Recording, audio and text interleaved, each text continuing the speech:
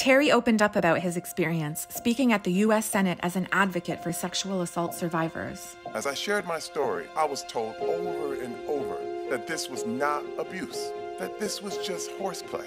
But I can say that one man's horseplay is another man's humiliation.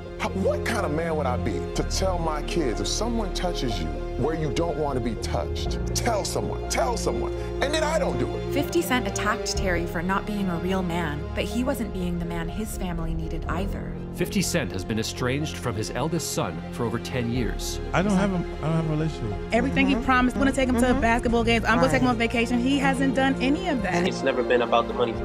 It's more so the relationship. If you love yourself, I used to. You ask yourself, how long can you love something that don't love you back? Terry showed what it means to be a real man, and he even offered love to 50 Cent instead of fighting.